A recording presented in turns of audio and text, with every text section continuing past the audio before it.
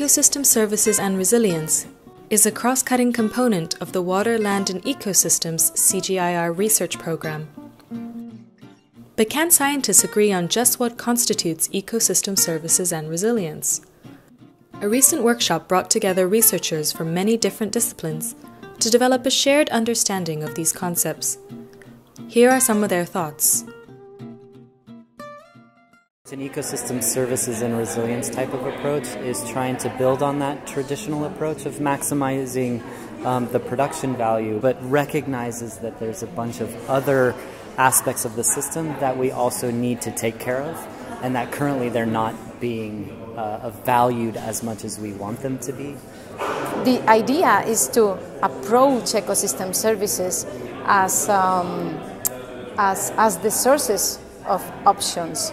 It's about the capacity of a system, and a system can be a forest, it can be a village or a village landscape to uh, continue to develop in the face of large scale changes or large scale shocks and disturbances to this system. But also how you really can continue your development after those have happened. Quite often, development is uh, made uh, only considering one factor, one priority, one sector. The question is that in doing that, some of the existing ecosystem services are degraded. So you increase food production, but you degrade some of the other ecosystem services. We face this trade off between meeting short term needs and longer term needs and maximizing one service over the full array of services that are important for human well being.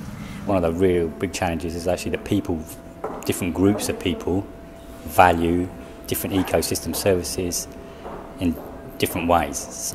And, and who's to say which is the correct value system?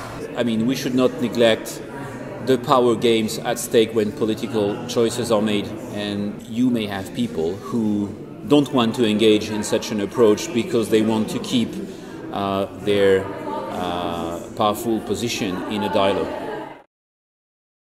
What are the best ways of both transform the ecosystems and managing natural ecosystems so that they work at all different possible scales and not designing them to work only, say, at, at, uh, at farm scale or at watershed scale.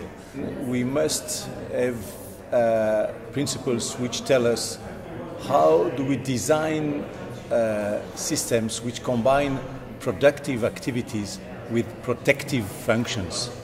And this uh, protection plus production uh, uh, um, combination, I think should be one of the, of the very key principles that we should have in mind.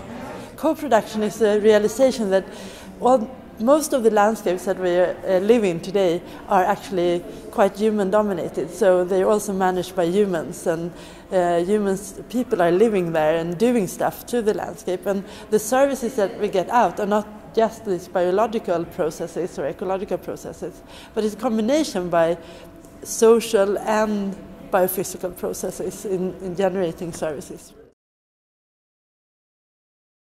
How you ensure the tangible benefits and accordingly then they are able to provide the ecosystem service which may benefit not only that community but the other community also. Farmers do not worry about resilience or, or the health of ecosystems. They worry about eating every day and, and feeding their families. So we should make sure that whatever time scale we have in mind, even if we, uh, in terms of principles, in terms of the research we implement, have to think on the long term, we have to make sure that the impact of our decisions, our research decisions, and development decisions, of course, which, co- which uh, come together, uh, be efficient on the short term.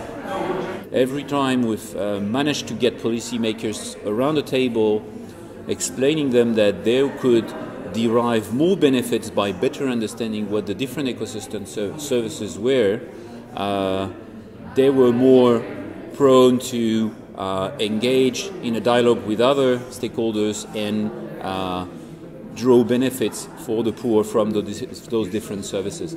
It's really about taking agriculture beyond productivity and recognizing the multiple benefits that agriculture provides. So it's putting people and nature together, understanding their interaction, and seeing how we can put nature to work for people.